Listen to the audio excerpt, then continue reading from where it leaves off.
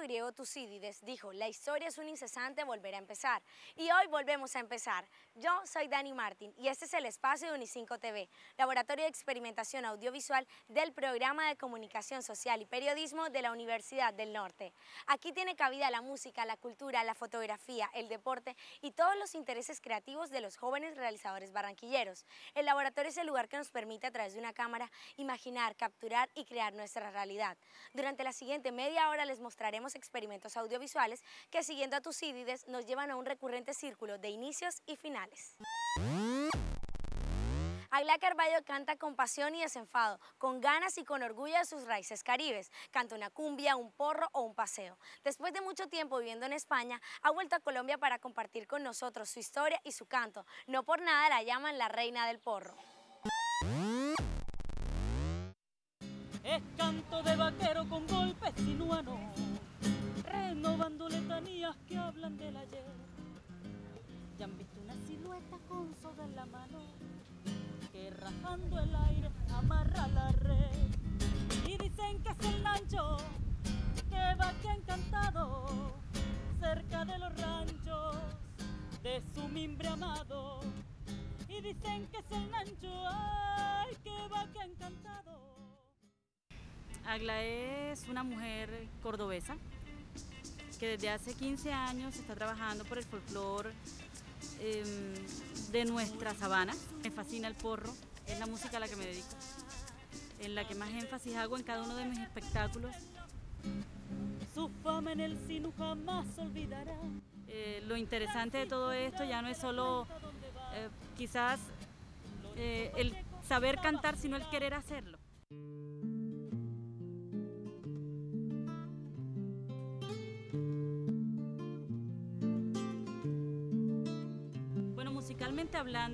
Eh, el porro es muchísimo más nutrido porque tiene más vientos, hay mucha improvisación en la que se da rienda suelta a los ejecutantes de los instrumentos para desarrollar libremente todo lo que quiera en armonías, en melodías, en todo. Su fama en el sino jamás olvidará. Francisco durante la cuenta donde va. Lorenzo Pacheco y Sabas Irán. Aquellos que lo vieron el lazo tirar. He encontrado al porro, o el porro quizás me encontró a mí en Ciénaga de Oro, donde nace Pablito Flores. Mi maestro, la persona que me enseñó pues a cantar con la cadencia que se canta el porro, y es un gran cronista. Eh, yo pienso que es el último juglar del sinú, porque Pablito ha dejado marcado dentro de nuestro folclore un estilo musical que no se había creado antes, que es el porro cantado con guitarra. Descubrí de dónde venía, de dónde soy, eh, descubrí un mundo maravilloso de cultura, de folclore. Hace tiempo que ha salido de mi tierra una mujer aventurera, no se sabe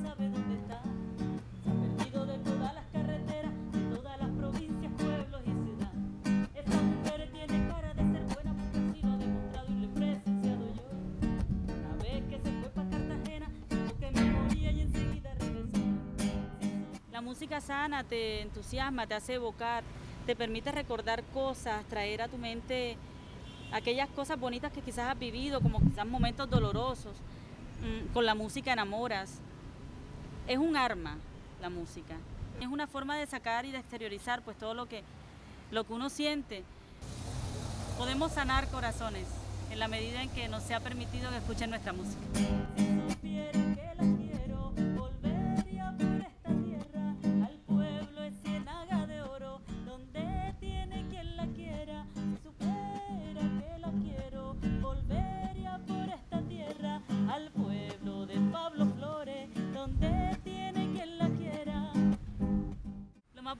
Cantar es poder no solo alegrar los corazones, sino también quizás poder llevar un poquito de nuestra tierra, de, nuestra, de nuestro sabor caribe. Un don maravilloso que es el poder hacer melodía con nuestra voz y, y poder conquistar corazones con nuestra voz.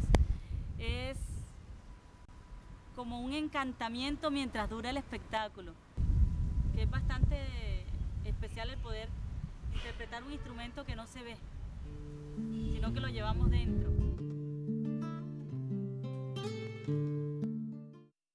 En las películas el director hace el papel de Dios, pero en los documentales Dios es el director. Esta frase de Alfred Hitchcock nos habla de la capacidad de la realidad para crear sus historias y rutas. Hoy tenemos un invitado muy especial aquí en el laboratorio, él es David Rico, estudiante de tercer semestre de Comunicación Social y Periodismo aquí en la Universidad del Norte, y él realizó un perfil titulado El Padrino de Salamanca. Hola David, bienvenido al laboratorio. Hola Dani, gracias por la invitación. Me encanta tenerte aquí con nosotros, compartir este rato bastante agradable, David.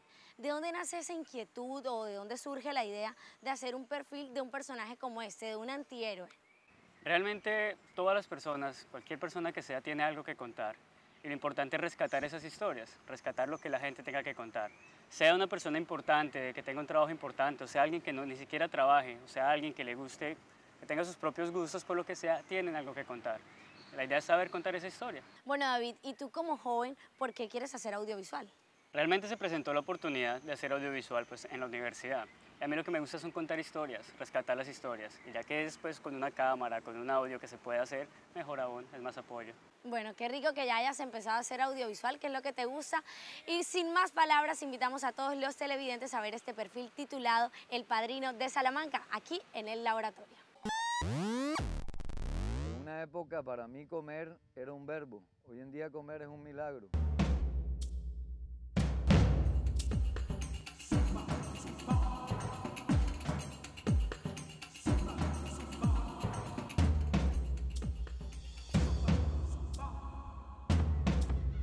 Como ustedes pueden ver aquí, aquí está la casa del señor Luis Gabriel.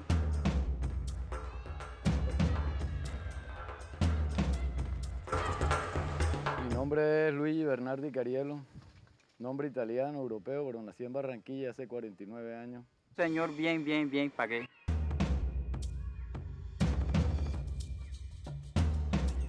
Un señor que es la nota, un señor que aquí no tenemos queja, él se ha portado muy bien con la gente de por aquí. Estudié en cuatro universidades, grandes universidades de Barranquilla, nunca terminé ninguna carrera, medicina, administración, comunicación, publicidad. Trabajé con grandes empresas como John Restrepo, Spring Step, Carvajal, Rumatés.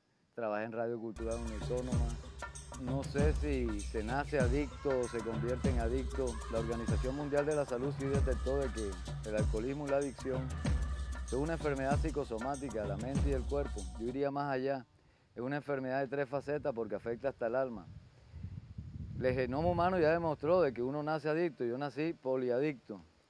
A los seis años de edad, yo, sin tener problemas de ninguna índole, yo recogía colillas de cigarrillo, fumaba las colillas de cigarrillo, siendo un estrato una familia italiana, religiosa, muy buena, muy noble. Y nunca maltrato físico, una infancia buena, una adolescencia en un barrio cómodo, viví en la 94, viví como rico, socio de varios clubes, pero la vida desafortunadamente tiene, es una ruleta. Me lo encontré con un tanque que venía a buscar agua aquí al río. Venía a buscar agua, ¿sabes? Que le echamos cosas al, agua, él vino y lo encontré y por primera vez me quedé impactado. Y dije, este man gringo, ¿este dónde es? Yo nunca he visto un gringo por aquí hablando en inglés. Y hoy me lo encontré y le dije, o sea, como hicimos la palabra a Dios, lo saludé, todo bien, el normal. Después a las poquitas semanas, yo oí, no, que por ahí vino un señor, un señor gringo, ¿sabes? Gringo, así como unos ojos verdes, alto, y aquí como tiene el corte y que el hongo al revés, yo, con hongo al revés. Bueno, yo dije, en todo caso yo me lo encontré. Estas bases que tú ves aquí, estos son polines o durmientes, porque la línea de tren pasaba por aquí, había un tren que iba a los Tajamares a botar piedra, a llevar piedra. Lo dejó la empresa Ingo, Boca de Ceniza, y se robaron los rieles, se robaron los polines y todo. Yo esto yo los encontré como a tres kilómetros y me los fui trayendo dando vueltas, los tiraba, los... así poquito a poquito, cobé con un cobadorcito y hice las bases. Primero forré esto en fibra, pura fibra de esa, de pasta, de plástico. Bien, eh, ya mis hermanos, viendo que tenía unos años aquí, me regalaron para hacer piso y estas tablitas para armarlo, yo mismo lo armé.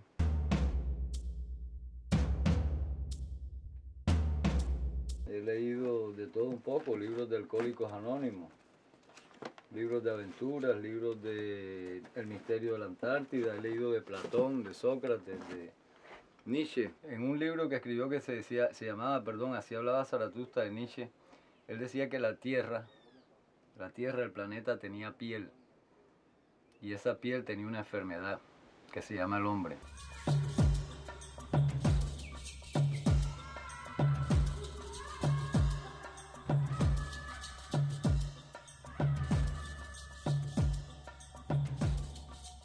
Cuando no vendo pescado, así como me encontraron ustedes en el puerto limpiando Johnson, etcétera, tratando de ganarme la vida de una forma honrada, pero de una forma difícil.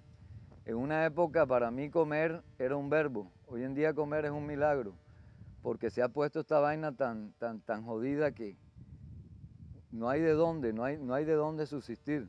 Yo trabajé en grupos de teatro, te- grupos de teatro en la autónoma, eh, o sea, fui humorista durante toda la vida. Yo me pagué el bachillerato a punta de chiste, pues. Éramos tres hermanos, éramos pobres. Yo le dije al rector, me voy a retirar. Yo no, cuente chistes los fines de semana, los actos cívicos, listo, pagó. Yo contaba chistes y con esa vaina me pagué hasta el sexto bachillerato en San Pedro Apóstol, un buen colegio. De ahí pasé a la norte, no hubo plata, me tuve que retirar de medicina, pasé a la autónoma. Ahí trabajé dos años en la emisora. Me retiré porque mi familia decía que todos los que trabajaban en medios de comunicación eran marihuaneros, eran locos, eran drogadictos, vagos, que era el concepto que se tenía. Cuando yo empecé a consumir marihuana a los 13 años, yo me acuerdo que pregunté un día en mi casa, ¿qué es marihuana? ¡No! Era tabú, era tabú hablar de marihuana. Si a mí un policía me coge ahora que está prohibida la dosis mínima, pongamos, y me llevara por un tabaco, yo le empujo una tutela al gobierno, como le metieron a la Philip Morris la tutela esa por miles de millones, la vieja que le dio cáncer, porque las cajetillas no decían el tabaco es nocivo para la salud. Cuando yo empecé no habían propaganda, no habían programas de prevención ni absolutamente nada. Y si fuera así, tendrían que al Congreso de la República ponerle reja y declararlo cárcel nacional. Edgar Artunduaga iba, iba a denunciar que en el baño del Congreso se vende droga y se consume todo tipo de droga. A los dos días lo amenazaron de muerte, Edgar Artunduaga se cayó. O sea que aquí, para declarar el consumo mínimo como algo que es carcelable, deben empezar del cura para abajo a revisar como la custodia Vadillo. Mi hermano, porque esto empieza de, de las altas esferas a las bajas. Las altas consumen las drogas de mayor calidad.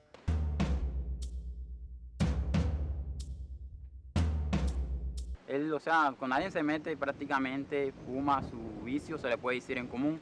Él anda, va de aquel lado, la compra, la trae, se mete, como ustedes pueden ver ahí, su casa, se lo mete, se fuma su, su cigarrillo, se le puede decir, sus cosas, él coge y adicto a eso y eso es una cosa que él, ¿para qué? Él lo tiene muy reservado en su tiempo. No es fácil, no es fácil vivir así este, este estilo de vida que es recoger lo que uno sembró.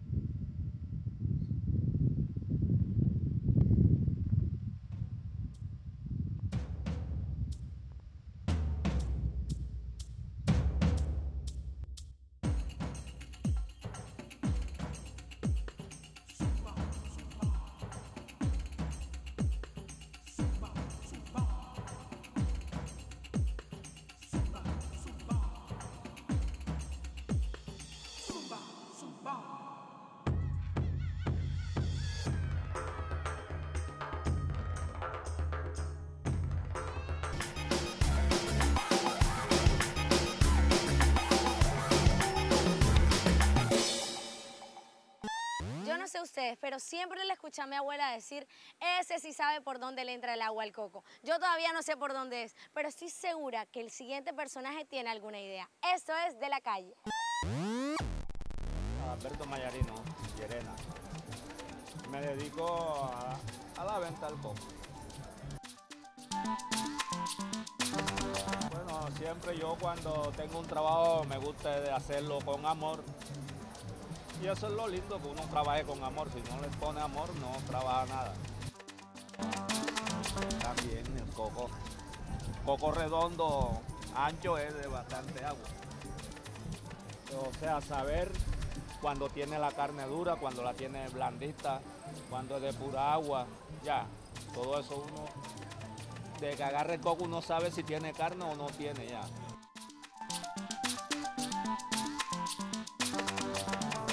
Ganar los 40 o 50. ¿Qué hacías antes de vender Vendía mango. ¿Y cuál es, cuál es la, qué, qué es mejor, vender mango o vender coco?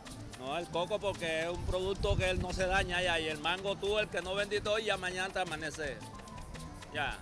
La gente comienza a tocarlo y él se pone aguado y al día siguiente ya. No, el coco no. Ah, ese coco viene allá de la intendencia, lo traen ahí en las lanchas esas. Y uno ahí hay un mayorista que lo compra y entonces uno lo llama y él le reparte a uno, ya necesito 100, 50, eso se lo manda. Eso uno se para uno a las 5 de la mañana, 5 y media hasta allá. Ya, para asegurar el coco. Pues viene, compra el hielo y eso lo echa el hielo para que enfríe. Es que eso es rico y él es saludable, el coco es una cosa natural que no tiene nada químico. No, lo que menos me gusta es cuando no haya venta ya. Habiendo venta todo me gusta. Viste tú que no me da tiempo casi ni almorzar. Eso es un coco parte me la o sea, que uno se le va el. Ya. Y tengo bastante ya clientes que son amigos que se ponen aquí, charlan conmigo bastante. Uf, a veces ponen a charlar conmigo. O sea que yo no, no, no tengo rato aquí que para estar solo para aburrirme a donde nunca. Claro, no se divierte en el trabajo ya. No te digo que uno como haga las cosas con amor, uno se divierte en su trabajo.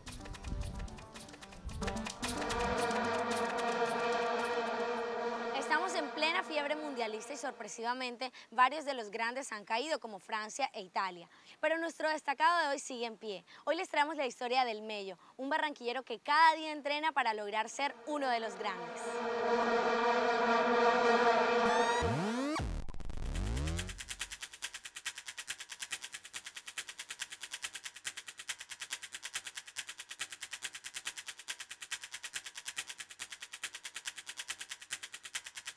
Mi nombre es Javier Moreno López, tengo 23 años, me dicen el medio, soy estudiante de Ingeniería Industrial de octavo semestre.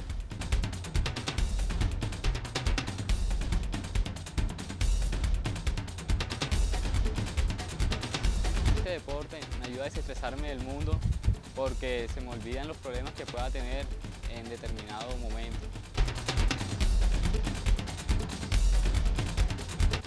La situación más difícil cuando estaba jugando fútbol fue en el 2002 que tuve una lesión de ruptura de ligamento y fractura de peroné.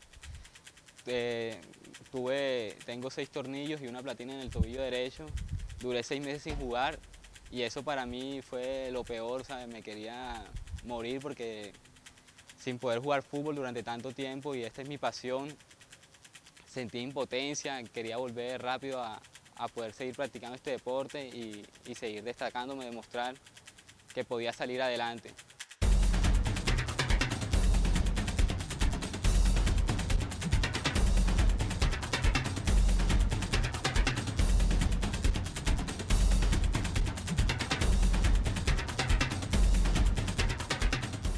Yo estoy en la selección de la Universidad de Fútbol desde el segundo semestre de 2004.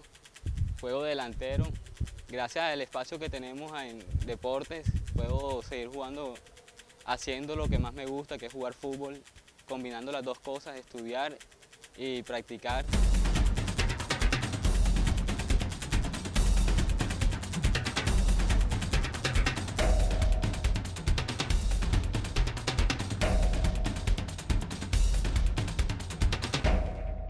Tres, dos, uno. El cineasta francés Jean-Luc Godard dijo, el cine es el fraude más hermoso del mundo. Nosotros en el laboratorio seguiremos experimentando y creando todo tipo de narraciones audiovisuales. Es todo por hoy, pero la próxima semana traeremos más música, más historias y por supuesto más miradas para seguir dando vida a nuestras ideas. Si tienen alguna idea, comentario o algún producto audiovisual que quieran compartir, escríbanos a uni5tv.uninorte.edu.co. Desde Barranquilla, Colombia, yo soy Dani Martín y este es el espacio de Uni5 TV. Laboratorio de Experimentación Audiovisual del Programa de Comunicación Social y Periodismo de la Universidad del Norte. Hasta pronto.